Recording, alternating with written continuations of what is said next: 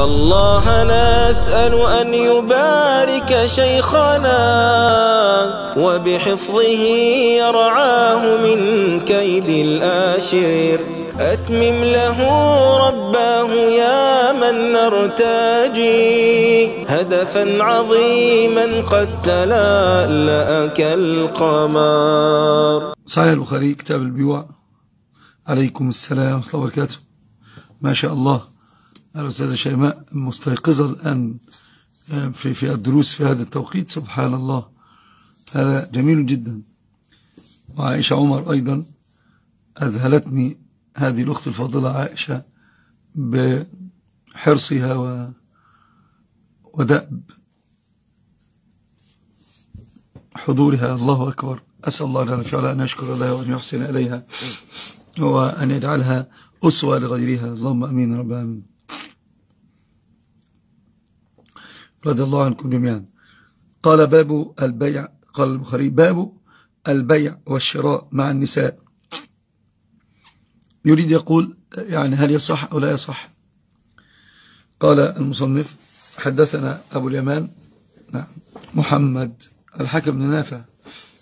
قال أخبرنا شعيب وهذا سلسلة أنتم تعلمون أنها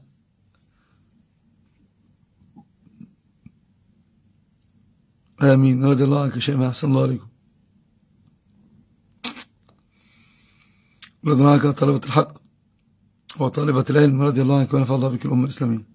نعم الله يرزقك الإخلاص يا عائشة. حقيقة أسعد جدا بحضرتك نسأل الله جل في علاء أن يشكر لك وأن يجعلك أسوة لغيرك. اللهم أمين يا رب العالمين. رضاك أبا مالك. نفع الله بكم الأمة الإسلامية.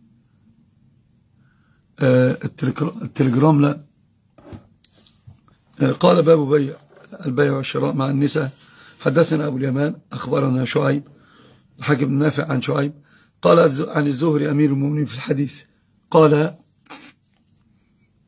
قال عروة ابن الزبير وكان عابدا تقيا نقيا فقيا محدثا كما قال عنه ولده هشام أبي كان يصوم يوما ويفطر يوما. فعن عائشة رضي الله عنها وارضاها قالت دخل علي رسول الله صلى الله عليه وسلم فذكرت له.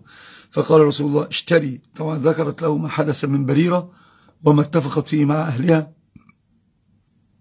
وأنها كاتبتهم وعن عائشة تدفع عنها لكن اشترطوا أن يكون الحمد لله أن يكون الولاء لهم. فقال النبي صلى الله عليه وسلم اشتري. يعني اشتريها وأعتقي فإن الولاء لمن أعتق. طبعا اشتري هو الشاهد الذي أراده البخاري إجابة عن السؤال في قوله البيع والشراء مع النساء. ما شاء الله ما شاء الله رضي الله عنك وصال ما أجمل ما ما تكتبون. هذا فضلكم. وفيه دلالة على رفيع نبلكم الله أكبر. نعم. قال عمر بن زبير قالت عائشة رضي الله عنها دخل علي رسول الله صلى الله عليه وسلم فذكرت له. فقال رسول الله صلى الله عليه وسلم اشتري وأعتقي فإن الولاء لمن أعتق. لما قال لها اشتري فيها دلالة واضحة جدا على جواز الشراء والبيع للنساء. ثم قام النبي صلى الله عليه وسلم من العشي فأثنى على الله بما هو أهل له. ثم قال ما بال أناس يشترطون شروطا ليس في كتاب الله. من اشترط شرطا ليس في كتاب الله فهو باطل وإن اشترط مئة شرط. شرط الله أحق وأوثق. شرط الله أحق وأوثق. رضي الله عنك أحمد. وفي رواية قال حدثنا حسان بن أبي عباد وهو من الثقات الأثبات قال حدثنا همام بن منبه وهو من خيرة الناس قال سمعت نافعا ونافع مولى ابن عمر بل هو أثبت الناس في ابن عمر.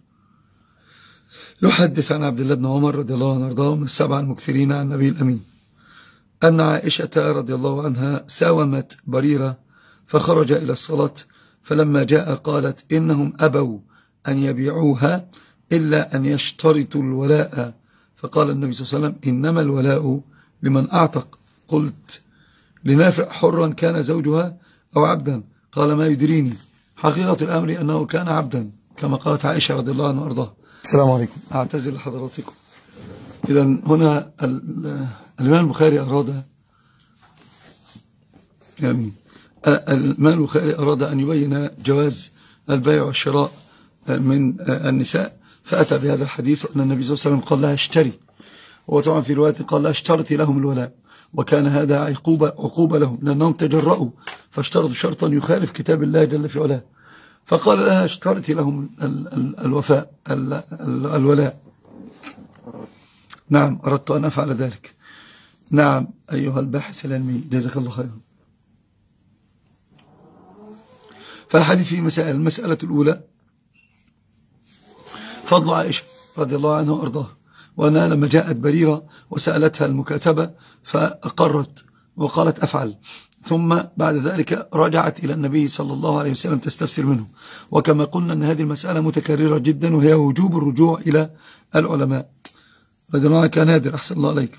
وجوب الرجوع إلى العلماء لا سيما إلى العلماء الراسخين. قلنا أن في آخر الزمان يرجع إلى يطلب العلم من الأصاغر. ممكن يكون البث من عندكم. نعم يق فيطلب العلم عند الأصاغر. لذلك وجب الرجوع إلى إلى الراسخين. فرجعت إلى النبي صلى الله عليه وسلم.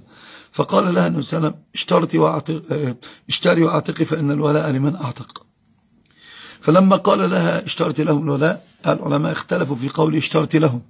فقالوا لهم هنا بمعنى عليهم. نعم. كما قال الله تعالى إن أحسنتم أحسنتم لأنفسكم وإن أسأتم فلها. أي فعليها. فلها. قال أي فعليها. ولكنه قام النبي صلى الله عليه وسلم بعد ذلك خطيبا وأراد أن, أن يهذب ما عندهم وأن ينكر ما هم عليهم ما هم عليه. فقام. الله أكبر. اغلقي خروجي وادخلي مرة ثانية. فقام خطيبا فقال ما بال أقوام يشترطون شروطا ليست في كتاب الله. كل شرط ليس في كتاب الله فهو باطل. كل شرط ليس في كتاب في كتاب الله فهو باطل. الجمهور تمسكوا بهذا الحديث على أن الأصل في الشروط المنع ليس الحل. والحنابلة قالوا الأصل في في الشروط الجواز لا المنع. لقول نعم. المسلمون عند شروطهم. المسلمون عند شروطهم. وجمهور استدل بهذا الحديث أن النبي قال كل شرط باطل أو المنع. الأصل في المنع. كل شرط باطل. كل شرط ليس في كتاب الله فهو باطل ولو كان مئة شرط. كل شرط ليس في كتاب الله. فقيد بأن يكون الشرط في كتاب الله. وهذا يدل على أن الأصل في الشروط المنع. وهذا الأقرب.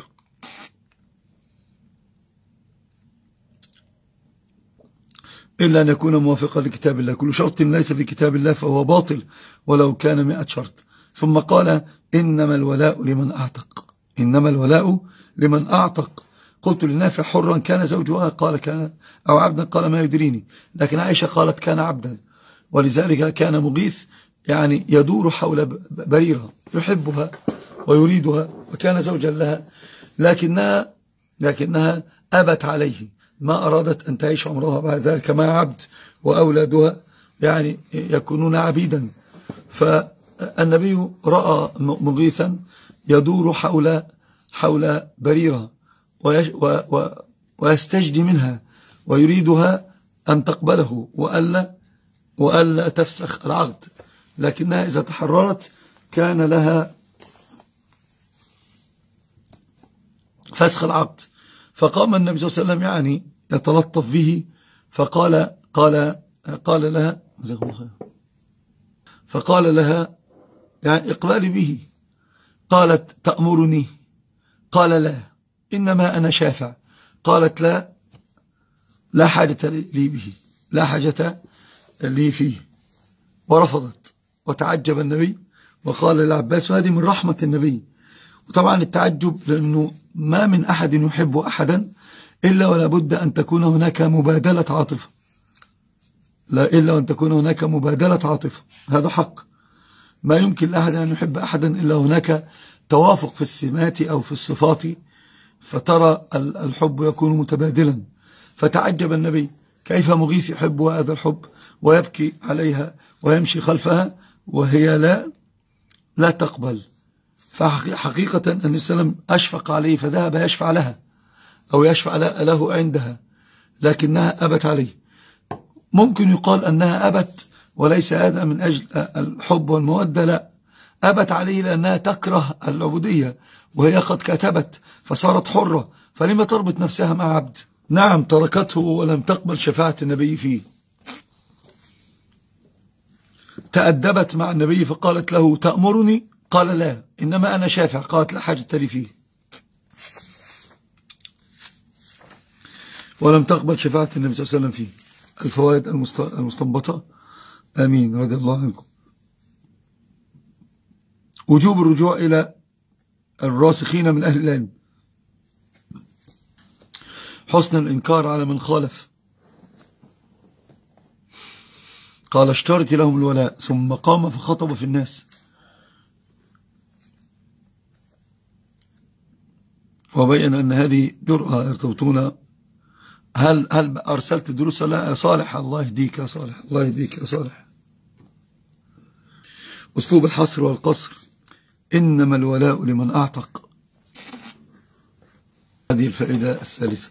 ولشيخنا همة علت الثريا فنالت من فنون الدين ريا. ولشيخنا همة علت الثريا فنالت من فنون الدين ريا. فذافق كسقي الماء كانا وتلك عقيدة السلف النقيا. وتلك عقيدة السلف النقيا فأخلص نية ربي وبارك على شيخ نبيل الخلق والضاح المحيا.